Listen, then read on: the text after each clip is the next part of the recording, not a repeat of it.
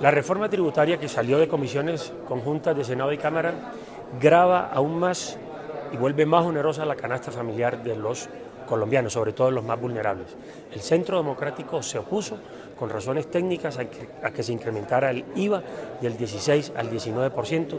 Es un golpe muy fuerte que va a perjudicar el poder adquisitivo de las clases más vulnerables del país y obviamente nosotros lo rechazamos. Esperamos que en plenaria se pueda tomar una decisión que revise esta circunstancia en contra del pueblo colombiano.